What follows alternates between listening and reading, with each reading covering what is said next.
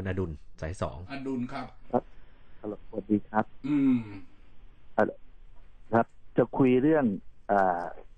ที่ไปซื้อสินค้ากันนะนะครับเออเออเอออ่าผมผมจะเทียบเคียงอย่างนี้นะครับสวัสดีครับอาจารย์ทั้งสองท่านนะครับอืม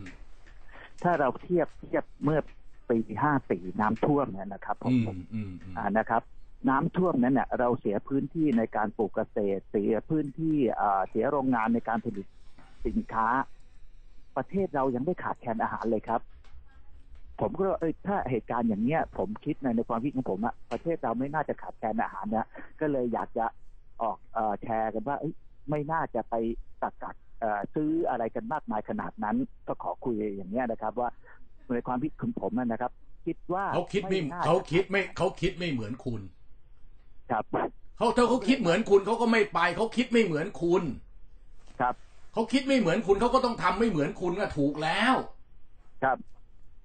ถ้าเขาคิดเหมือนคุณเขาจะไปทำไมเราใส่ไม่ได้ไปเขาไม่ได้แจกฟรีต้องมาเสียเงินซื้ออะครับแต่เขานี่เขาคิดไม่เหมือนคุณเขาคิดไม่เหมือนคุณเขาก็เลยต้องไปเขาก็เลยไปซื้อ ครับผมเออแต่นี่ผมก็เลยจะมาแชร์ในในในในในรายการของอาจารย์ทั้งไม่ต้องมาแชร์ เราคิดไม่เหมือนกันก็ทำต่างกัน ครับ เออ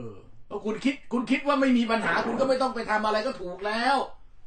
ไอ้คนที่เขาคิดว่ามันจะเป็นปัญหาเขาก็ไปทำอย่างที่เขาคิดว่ามันจะแก้ปัญหาให้เขาได้เขาก็ทำถูก ครับ ไม่ต้องว่ากันไม่ต้องแชร์ ผมผมไม่ได้ว่าการผมบอกเอ้ยให้เอามาเปรียบเทียบกันเหตุการณ์ทั้งสองไม่เหมือนกันไม่เหมือนกันคนละเรื่องกันน้ำท่วมกับเชื้อโรคคนละเรื่องกันมันจะไปเหมือนกันได้ยังไงอะผมเข้าใจครับ อาจารย์มันไม่เหมือนกันแต่ว่าอะมันไม่เหมือนกันมันก็ มันไม่เหมือนกันคนเขาก็มีปฏิกิริยาตอบสนองต่างกัน ครับ มันไม่ใช่บ้านเราบ้านเดียว ขนาดอเมริกายุโรปยังซื้อกันหมดเชลฟ์ครับ คนคนแถวนั้นเขาฉลาดกว่าเราโง่กว่าเราเหรอไม่ไม่ไม่ครับ ผมพูดในมุมบอกให้ให้ให้ให้ในมุมของผมในคิดของผมเนี่ยแล้วเอ้ยเราเนี่ย เราไม่ได้เสียพื้นที่ในการผลิตอาหารไปเลยนะ เหตุการณ์ครั้งนี้ อ่าผมก็เลยเพียงนี้ คือจะพิดคิดถูก คิดผิดเนี่ย ผมก็ไม่ได้ว่าผมคิดถูกนะครับ แต่ผมคิดเนี่ยอย่างที่อาจารย์ก็พูดก็ถูก เขาก็คิดไม่เหมือนผม แต่ผมก็บอกให้ยอ่าผมก็ไม่แค่ว่าเฮ้ยผมมีคิ้วคดีเนี้ยจะผิดจะถูก ผมไม่ได้ว่าเขาผิดนะครับ ผมยังไม่ได้พูดว่าเขาผิดเลยเข้าใจผมคิดว่าในผมุมเข้าใจเขาคือคืออย่างนี้ดีกว่า ที่พูดเนี่ย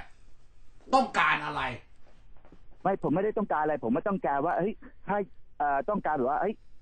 ผมคิดอย่างนี้นะ อย่างน้อยๆผมก็เอ้ยเอามาพูดในรายการผมคิดอย่างนี้ แต่ผมก็ยังไม่ได้บอกว่า ไม่ได้บอกว่าใครผิดใครถูก ผมว่าก็บอกว่ามาแชร์ความคิดผม แล้วผมก็บอกว่ายังไม่ได้ความความคิดผมไม่ว่าถูก หรือว่าความคิดคนอื่นผิดเลยนะครับ ผมยังยังไม่ได้พูดอย่างนี้เลยนะครับ เข้าใจคราวนี้ว่าถ้าพูดออกมาแล้วเนี่ยต้องการผลอะไรก็ไม่ได้กำหนดผมว่าต้องการผมต้องต้องการให้อ้าวงั้นงั้นงั้นกูได้พูดแล้วจบอะงั้นกูได้พูดแล้วจบโอเคไหม ครับได้ครับ เอออะครับโอเครับขอบพระคุณครับ สวัสดีไม่ครับต้องต่อแล้วต่อเถียงกันอะครับต่ออ่าสายหนึ่งคุณพันธุ์ครับสวัสดีครับอาจารย์วีระครับอืสมวัสดีครับ คุณนัทพงศ์ครับอืมอืมอืมอืมพอดีผมอาจจะมองอีกมุมหนึ่งอะครับ ทีเนี้ยเอ่อผมว่าคนที่เขาไปซื้ออาหารไว้เนี่ยครับ บางทีเนี่ยเขาแต่ผมไม่ได้ตุนนะแต่เออ ผมว่ามองว่าเขาอาจจะไม่อยากออกไปแบบว่า ใน เออ ไม่อยากไม่อยากไปเจอคนเยอะๆซื้อทันทีเดียว เออเอองั้นใช่ก็เพป็นราะว่า เพราะว่าเขาจะตุนน้ำไว้ว่า คือไม่ไม่ออกไปร้านอาหาร เพื่อที่จะได้ว่าไม่ต้องไปอยู่ในชุมชนอย่างเงี้ยครับเออเออเออเออมันน่าจะเป็นมุมนี้นะผมว่านะเออเออมุมนี้แต่ก็มุมนี้มีเหตุผลทั้งหมดทั้งมวลมันก็จะน่าจะมาจากการขาดความเชื่อมั่นนะครับอาจารย์เออเออไม่ไม่มีความเชื่อมั่นในตัวเองหรือไงใช่ใช่ครับ ไม่มีความเชื่อมั่นในข้อมูลที่รัฐให้โอ้อันนี้ไม่รู้ผมพูดตรงไปหรือเปล่าไม่ไม่ไม่ไม่มีปัญหาใครๆเขาก็พูดกันทั้งบ้านทั้งเมืองอะไรนี่ มันก็เลยการกักตุนเนี่ย แต่ถ้าเป็นตามที่ผมคิดนะ เออ มันจะไอ้ที่สองอาทิตย์มันก็น่าที่ห้างมันก็น่าจะแบบคนน้อยลงนะ เพราะว่าเขาตุนกันไว้อย่างมากก็ ไม่ไปสองสามอาทิตย์อย่างเงี้ยครับอาจารย์แล้วก็น่าจะกินของอยู่บ้านจนกว่ามันจะสถานการณ์มันดีขึ้นอย่างเงี้ยครับเขาอาจจะกลับมาใช้ชีวิตเหมือนเดิมโอ้ แต่ที่ตอนนี้มันอยู่ในภาวะที่ว่าถ้าออกไปมันมีคนที่อาจจะอยู่ในข่ายเฝ้าระวังแล้วเขาไม่รู้ตัวหรือว่าเขาติดเชื้อมาแล้วเขาไม่รู้ตัวแล้วเขาก็ อาจจะแพร่ได้อย่างเงี้ยครับเขาก็เลี่ยงที่จะไม่ไป ไม่ออกไปทานอาหารนอกบ้านครับอืมไม่ออกไปไม่ไม่ไปซื้อของอะไรเงี้ยครับ ก็เลยเกิดการกักตุนในช่วงเนี้ยครับอืมระระหว่างไม่แน่ไม่แน่ใจได้ครับ ขอบพระคุณครับ ครับครับคครัรับบครับ สวัสดีครับ